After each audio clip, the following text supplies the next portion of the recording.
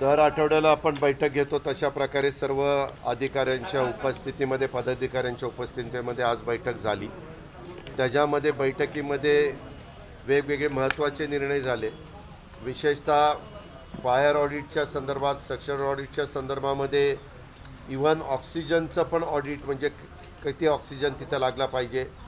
जितके काही बारकावे त्याच्यामध्ये लक्षामध्ये आलेले आहेत ते सगळे लक्षामध्ये घेऊन वेगवेगळ्या वरिष्ठ अधिकाऱ्यांना तिथं नेमण्यात आलेलं आहे आणि त्याचा एक चांगला रिझल्ट्स हा देखील पाहायला मिळालेला आहे. कारण आम्ही ज्यावेळेस सगळे बसतो त्यावेळेस गेल्या आठवड्यात आजच्या दिवशी पूर्ण आठ दिवसात काय परिस्थिती होती आणि आज गेल्या आठवड्यातली काय परिस्थिती? तुलनात्मक के बघितलं तर फक्त ग्रामीण भागामध्ये पेशंटची संख्या जास्त दिसते.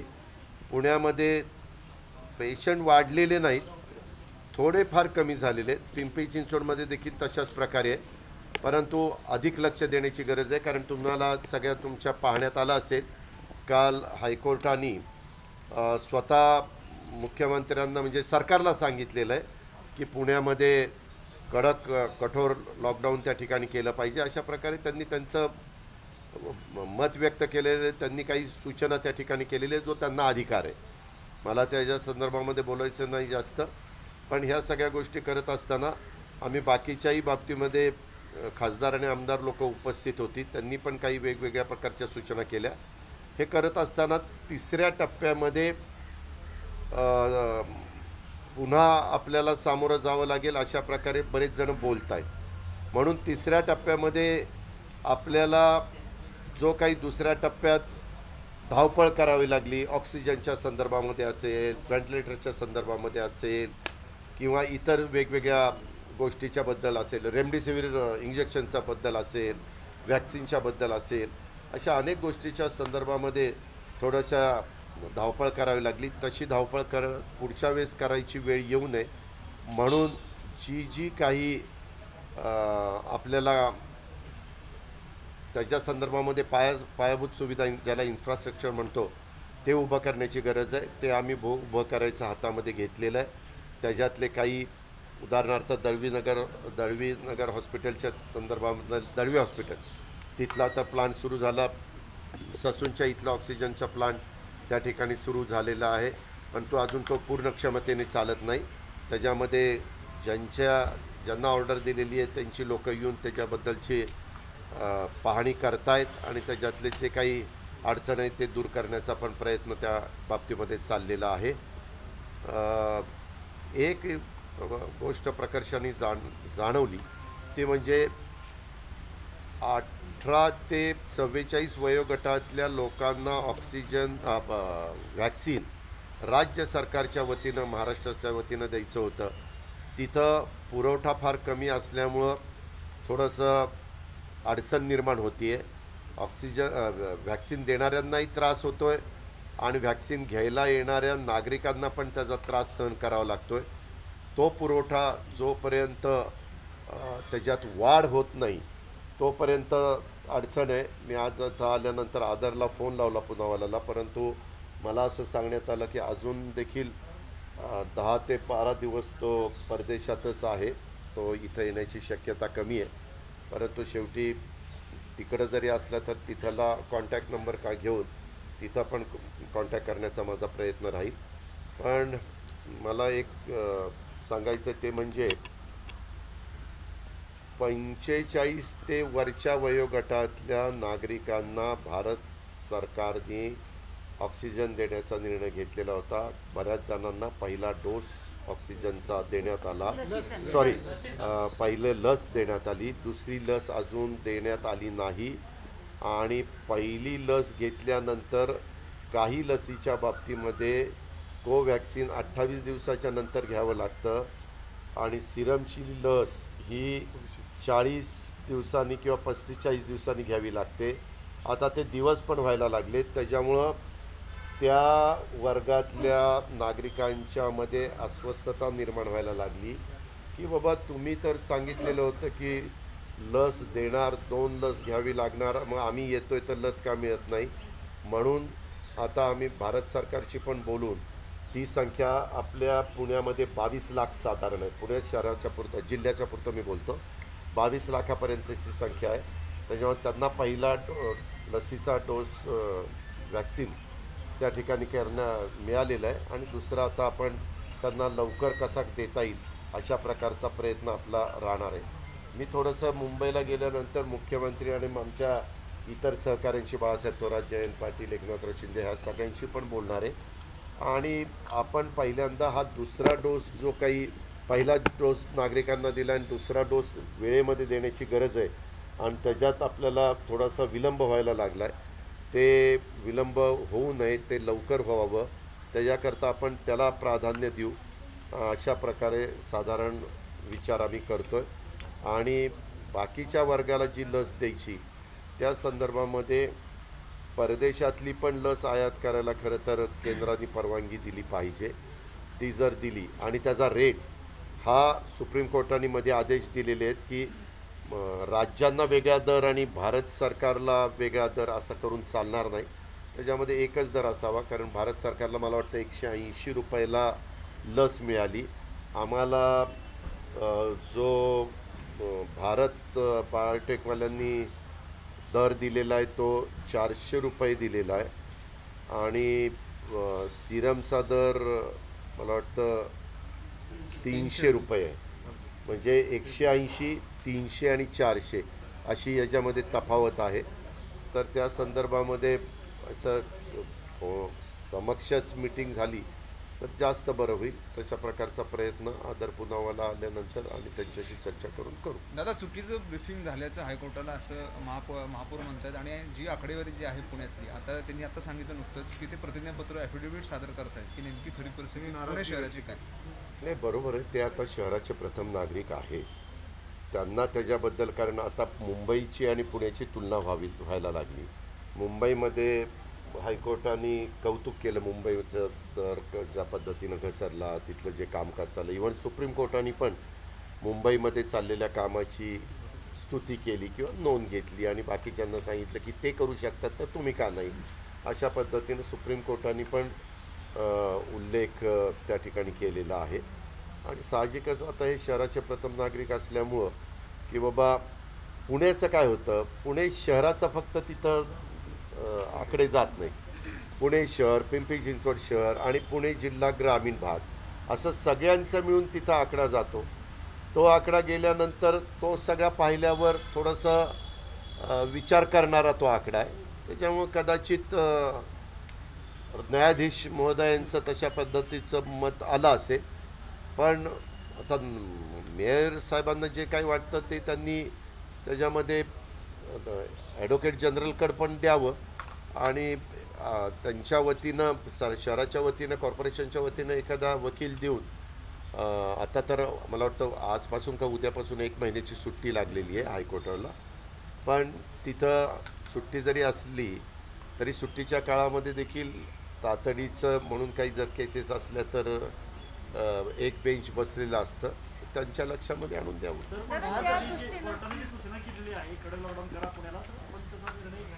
आज मी तो सुतोवाज माझ्या सगळ्या सहकाऱ्यांच्याकडं केला. की बाबा अशा प्रकारची सूचना मुख्यमंत्र्यांच्याकडं आणि सरकारकडं करण्यात आलेली आहे. आता काही लोकप्रतिनिधींनी पण सांगितलं की बाबा तसं करण्याची गरज आहे. आणि पोलिसांचं काय मत येत आहे पोलीस म्हणतात की बाबा तुम्ही सकाळी काही दुकानं उघडी असतात आम्ही कुठं चाललो भाजी घ्यायला चाललो कुठं गेलो दूध घ्यायला चाललो असं वेगवेगळे सांगतात. त्याच्यामुळं कुणाला जास्त थांबवता येत नाही ही त्यांची अडचण आहे. तर जो काही निर्णय घ्यायचा तो आम्हाला एकदा सांगा की बाबा ह्या ह्या पद्धतीनं राबवायचा तर आम्ही त्या प्रकारे राबू. पण हे सगळं ऐकल्यानंतर सध्या आता हायकोर्टाने ज्या काही सूचना केलेल्या आहेत त्याच्याबद्दल राज्याचे प्रमुख या नात्याने उद्धव ठाकरे साहेब निर्णय घेतीलच. पण इथं जी चर्चा झाली त्याच्या संदर्भामध्ये थोडंसं आत्ता आहे तशाच पद्धतीनं चालू ठेवावं कडक निर्बंध अजून त्या ठिकाणी करावेत. आणि कारण नसताना ज्यांचं काम नसताना उगीच बाहेर जे फिरतायत असे लोकांची संख्या अशा वर्गाची संख्या कमी करता आली तर त्याच्यामध्ये निश्चितपणे रिझल्ट चांगले मिळण्याच्या करता मदत होईल अशी दादा सुविधा एकीकडे पोलीस जे आहेत ते अ, हे निर्बंध राबवण्यासाठी प्रयत्न करतात पण आपण संगमनेर मधली जर घटना पाहिली बंदोबस्तावरती असणाऱ्या पोलिसांवरती जमावानं हल्ला केलेला आहे. हो का आता काय झालंय? गेल्या वर्षभरामध्ये अनेक दिवस लोकांचे कामाचे दिवस गेले किंवा त्यांचे बाकीचे शेती इतर सगळ्याच गोष्टीच्या अडचणी. आता नक्की कशामुळं जर समजावून नागरिकांना सांगितलं तर नागरिक समजावून घेतात. परंतु सगळेच पाची बोटं सारखे नसतात. आता तुम्ही जर वेगवेगळ्या चॅनलला काही उदाहरणं बघितली तर बिहारमधली उत्तर प्रदेशमधली म्हणजे एक मुलगीच एवढी हुज्जत घालत होती मी मा मास्क घालीन परंतु हेल्मेट नाही घालणार वगैरे वगैरे. अशा प्रकारची एवढ्या मोठ्या देशात किंवा एवढ्या मोठ्या राज्यामध्ये एखादी घटना घडली की ती तेवढीच सातत्याने दाखवली जाते. मात्र बाकीच्या ठिकाणी जे काही व्यवस्थित काम चाललेले मग त्याच्यावर थोडंसं दुर्लक्ष होतं. मला जो महाराष्ट्राचा आत्तापर्यंतचा अनुभव आहे महाराष्ट्रातल्या नागरिकांना त्या काम कुठल्या गोष्टीच्या करता आपण अशा प्रकारचा कठोर निर्णय घेतो हे जर समजून सांगितलं त्याच्या पाठीमागची पार्श्वभूमी तर लोक ऐकतात. मागं देखील सुरुवातीच्या काळामध्ये पंतप्रधानांनी जो लॉकडाऊन जाहीर केला तो महाराष्ट्रातल्या जनतेने तंतोतंत पाळला आणि त्याच्यानंतरच्या काळामध्ये देखील मुख्यमंत्री महोदयांनी राज्य सरकारच्या वतीनं जी जी भूमिका घेतली त्याला पण महाराष्ट्रातल्या जनतेने काही अपवाद आता तुम्ही संगमनेरचं उदाहरण दिलं पण असा काही ठिकाणचा अपवाद वगळता तेही व्यवस्थितपणे पार पाडण्यात आलं. आता हा जो अपवाद झाला आहे त्याला शेवटी आमचे पोलीस आणि बाकीचे सगळे सहकारी स्वतः आमचे सिनियर नेते महाविकास आघाडीचे बाळासाहेब थोरात हे संगमनेरचे आहेत. उद्या त्यांनी देखील जाऊन थोडंसं एक सगळ्यांना आव्हान केलं. तर संगमनेरचं मी जसं बारामतीचं तीस वर्ष प्रतिनिधित्व करतो ते पस्तीस वर्ष झाली संगमनेरमधनं अनेक चढउतार आले तरी निवडून येत आहेत. त्याच्यामुळे त्यांचाही त्यांच्याही शब्दाला तिथं किंमत आहे. ते निश्चित त्याची नोंद घेऊन ते काही आव्हान करतील त्याच्यात लक्ष घालतील. दादा एकीकडे शाळेचे ऍडमिशन चालू झाले. कडक लॉकडाऊन केलं एकीकडे इतर ग्रामीण भागामध्ये देखील कडक लॉकडाऊन बारामती. करण्याची गरज आहे असं वाटतं का तुम्हाला? मी जिथं संख्या वाढलेली आहे तिथं तिथल्या तिथल्या लोकांनी तिथली परिस्थिती भौगोलिक तिथली परिस्थिती करोनाची पेशंटची पॉझिटिव्हची संख्या बेडची संख्या या सगळ्याचा विचार करून तिथं निर्णय घ्यावा असं मला वाटतं. बारामतीमधले तिथल्या अधिकाऱ्यांनी मिळून तो निर्णय घेतला. त्यांनी मला कानावर घातला की दादा आम्ही असा निर्णय घेतो. सात दिवसाच्या करता हा निर्णय घेणं आम्हाला योग्य वाटतं. मी येस दादा एकीकडे शाळेचे ऍडमिशन चालू झाले शाळा कधी चालू होईल हे सांगता येत नाही. तरी पण आता काय झाले फिया ज्या आहेत त्या लोकांच्या शंभर टक्के आकारल्या जातात. कोर्टानं पण सांगितलंय की प्र- त्या त्या राज्य सरकारने लक्ष घालून फियांच्या बाबतीत काय ते निर्णय आमच्या शालेय शिक्षण मंत्री वर्षाताई गायकवाडांनी त्याच्यात लक्ष घातलं परंतु त्यांच्या घरातच त्यांचे स्वतःचे वडील एकनाथराव गायकवाडांचं दुःखद निधन आत्ताच अलीकडं चार पाच दिवसापूर्वी झालं आणि त्याच्यामुळं त्या थोडंसं त्या ह्याच्यामध्ये आहेत.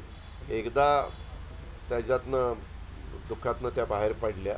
की ते त्याच्यात लक्ष घालतील. आणि ते जे काही प्रस्ताव आम्ही आम्ही पण त्यांना सांगू की ताई ह्याच्यामध्ये आपल्याला काही योग्य प्रकारची भूमिका घ्यावी लागेल. आपण जे कोर्टाचा उल्लेख केला त्याच्यामध्ये कोर्टाने पण काही सूचना दिलेल्या आहेत काय निर्देश दिलेले आहेत त्याच्याही बद्दलची माहिती घेतली जाईल. आपल्याला ह्यावेळेस बऱ्याचशा परीक्षा घेताच आल्याने आपण पुढच्या वर्गामध्ये मुलं त्या ठिकाणी टाकलेली आहेत. आणि त्याच्यामुळं तसं बघितलं तर वर्षभर ऑनलाईन अभ्यास झाला परंतु तो कितपत झाला हा थोडासा विचार करणारा भाग आहे. आणि आता नवीन जे काही सुरू होत आहेत त्यावेळेस असणारं करोनाचं संकट नागरिकांच्या आर्थिक असणाऱ्या अडचणी ह्या सगळ्या लक्षामध्ये घेऊनच त्या त्या शिक्षण संस्थांनी थोडंसं सहानुभूतीपूर्वक ह्या सगळ्या गोष्टीचा विचार केला गेला पाहिजे. आणि त्यांनी जर नाही केला तर मग राज्य सरकारला त्याच्यामध्ये थोडी कडक भूमिका घ्यावी लागेल मुख्यमंत्री घुसमट होती असे संजय काकडे म्हणालेत आणि ते बाहेर पडतील असं संजय काकडेंचं म्हणणं आहे. ते अं, आघाडीत अं, मुख्यमंत्री यांची घुस- घुसमट होतीये आणि घुसमटतोय. हा. आता संजय अं, असं संजय काकडे म्हणले. संजय काकडे म्हणते त्यांनी बाहेर प्र- पडतील प्रदेश. उपाध्यक्ष पद भाजपच्या प्रदेश उपाध्यक्ष पदाची निवड झाली आपण आणि पुण्यामध्ये आहात ना? हो. मी पुण्याचा आहे. आपण ज्या व्यक्तीच्या बद्दल प्रश्न विचारता त्या व्यक्तीची विश्वासार्हता किती आहे पुणेकरांना जरा विचारा. त्याच्यामुळे त्या असल्या काही लोकांच्या स्टेटमेंटला फार महत्त्व देण्याचं काही कारण नाही.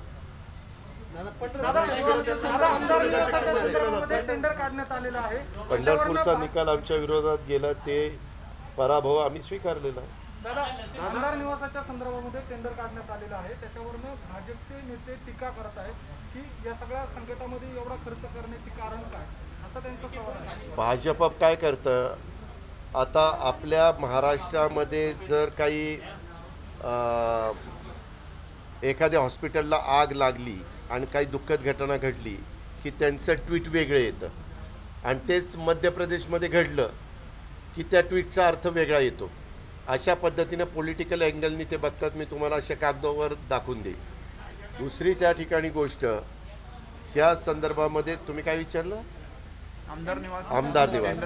आपल्याला पाहण्यात आलं असेल की भारत सरकारने साडेतेरा हजार कोटी रुपये कशाला खर्च केले?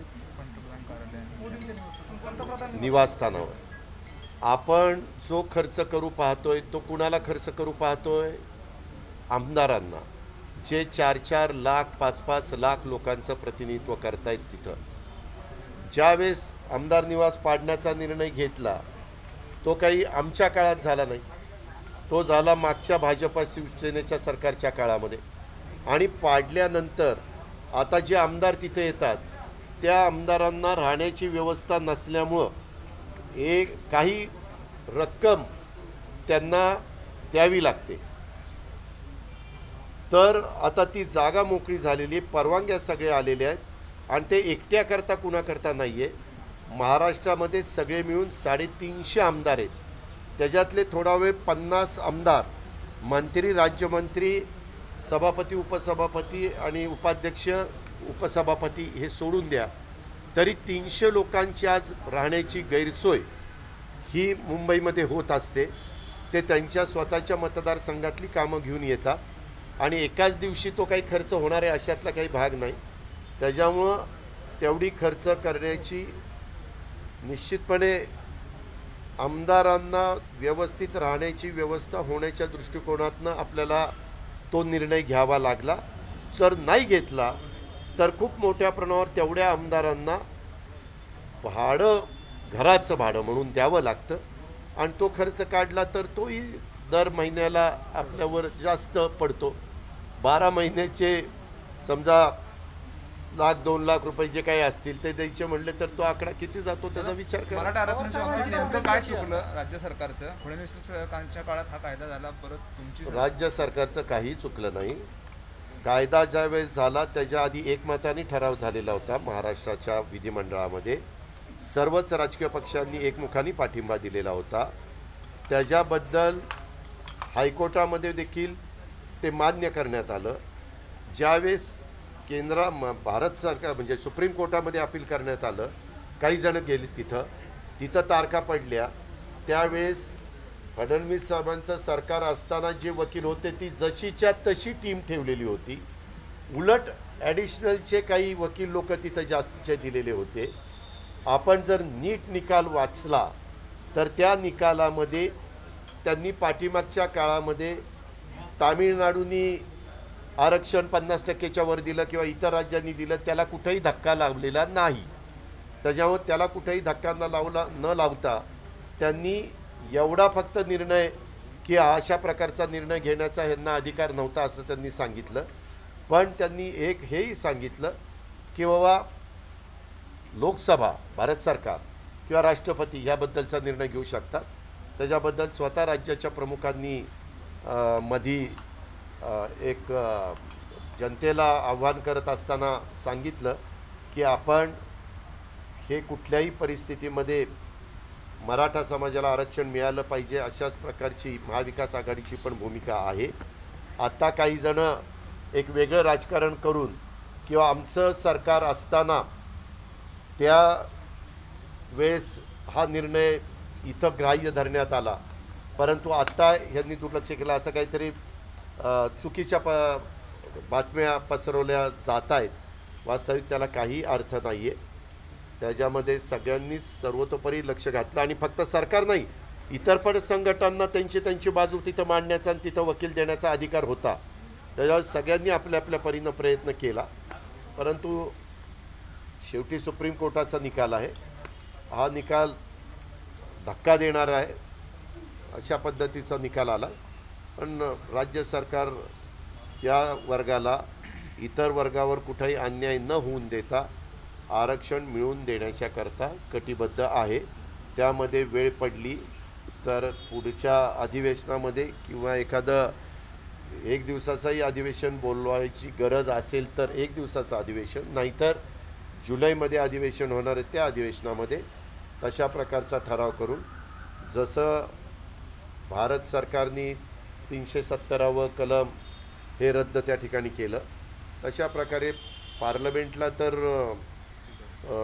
कायदे करण्याचा अधिकार आहेच. त्याबद्दल आम्ही एकमताने इकडनं शिफारस त्या बाबतीमध्ये करू. वेळ पडली तर मुख्यमंत्र्यांच्या नेतृत्वाखाली हे करोनाचं सगळं सावट कमी झाल्यानंतर सगळ्या विरोधी पक्ष आणि सत्ताधारी पक्ष ह्या सगळ्यांनाच विश्वासामध्ये घेऊन पंतप्रधानांना पण शिष्टमंडळ नेण्याची मानसिकता महाविकास आघाडीने ठेवलेली चांगली आहे. दादा तिथे लसीकरणाचा प्रचंड गोंधळ आहे. लोक पाच पाच वाजेपासून लाईन मध्ये उभे राहतात. काहींना पहिला डोस मिळतो दुसरा मिळत नाही. सगळं गोंधळ सध्या पुण्यामध्ये गोंधळ नाही. वातावरणामुळे आपण एक लक्षात घ्या आपल्या देशामध्ये लस तयार करणाऱ्या दोनच कंपन्या आहेत. एक सिरम आणि दुसरी भारत. त्यांचं रोजचं प्रोडक्शन आणि आपल्या भारताची असणारी लोकसंख्या. मी मागंही सांगितलं की करोना आल्यानंतर आपल्या भारतामध्ये तयार झालेली लस ही बाहेर कुठं द्यायला नको होती. ती पहिल्यांदा आपल्याच भारतातल्या नागरिकांना देण्याची नितांत गरज होती. आता रशियानी लस लस पाठवली पण केव्हा पाठवली? लशी रशियाचं स्वतःच्या देशातल्या नागरिकांचं लसीकरण झाल्यावर पाठवली. आपण आपली लसीकरण सुरू करायच्या आधीच परदेशामध्ये बाकीच्या राष्ट्रांना लस पाठवली. हा अतिशय चुकीचा निर्णय घेण्यात आला आणि आत्ता मात्र आपल्याला लस लागते. अठरा ते चव्वेचाळीस वयोगटातल्या लोकांना द्यायला पाच कोटी एकाहत्तर लाख ते पॉप्युलेशन महाराष्ट्राचं आहे. आपण थोडा वेळ ते सहा कोटी धरलं साईदूने बारा कोटी लस आपल्याला त्यांना लागते तुम्ही मगाशी जसं सांगितलं पंचेचाळीसच्या वरच्या वयोगटातल्यांचा सेकंडचा डोसचा वेळ आलेली आहे. त्यांनाही तिथं मिळत नाही. त्याच्यावर ते पण हातबल झालेले आहेत. आणि आता आपल्याला लस अठरा वा अठरा ते पंचेचाळीसवाल्यांना चव्वेचाळीसवाल्यांना मिळणार. म्हणून तेही लोक गर्दी करतात. म्हणून आपण ऑनलाईन केलेली आहे. आणि पहिल्या वेळेस आपल्याला फक्त एक मेला तीन लाख अठरा ते चव्वेचाळीस करता लसीचा पुरवठा झाला. आपण त्याच्या संदर्भामध्ये संबंधित कंपन्यांशी बोलतोय. केंद्राने त्यांना अशा सूचना दिल्यात की भारतामध्ये जेवढी लस तयार होईल त्याच्यातली पन्नास टक्के रक लस ही केंद्रालाच दिली पाहिजे. राहिलेली पन्नास टक्के लस ही देशात जेवढी राज्य आहेत केंद्रशासित असतील किंवा रेग्युलर राज्य असतील ह्या सगळ्यांना दिली पाहिजे. त्याच्यामुळे सगळ्यांचंच बुकिंग तिथं यायला लागलेलं आहे. ही अडचण झाली. वास्तविक आता त्याच्यात सिरम इन्स्टिट्यूटनी आणि भारत बायोटेकनी त्यांची लस उत्पादनाची क्षमता कित्येक पटीने वाढवली पाहिजे. आता आपल्या जे काय हाफकिन इन्स्टिट्यूट आहे त्याला पण लस तयार करण्याचं परवानगी भारत सरकारने दिलेली राज्य सरकारने दिलेली त्यांना निधी पण दिलेला आहे. तेही त्या कामाला लागलेत परंतु त्याचा आता उपयोग आत्ता लगेच या स्टेपला होईल असं नाही.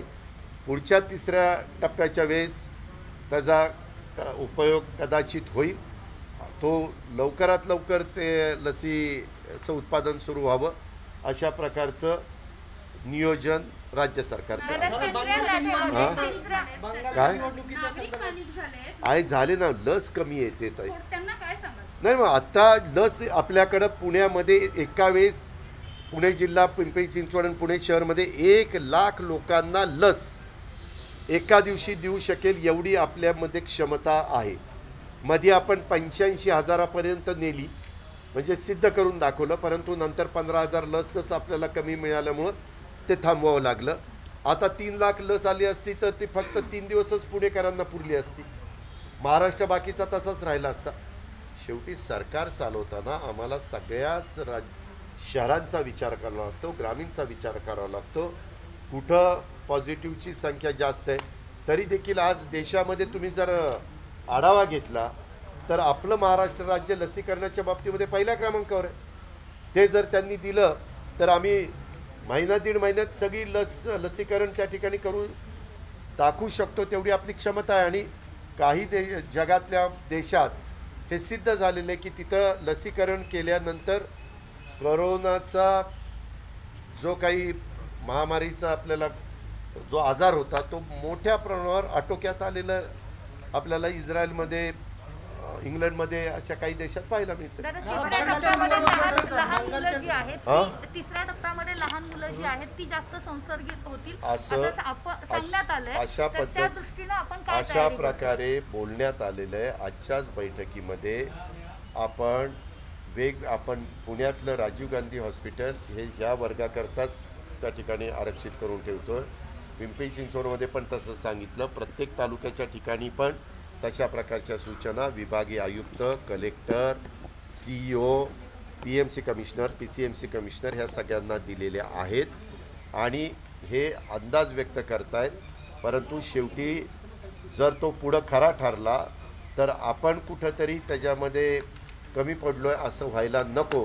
म्हणून ती खबरदारी आपण घेतो पण हा खरीपच्या बद्दल बैठक झाली. त्याच्यामध्ये जे काही बियाणं पाहिजे ते बियाणाची महा आपल्या पुणे जिल्ह्याची गरज जी काही आहे ती गरज निश्चितपणे पूर्ण केली जाईल अशा प्रकारचं नियोजन केलेलं आहे.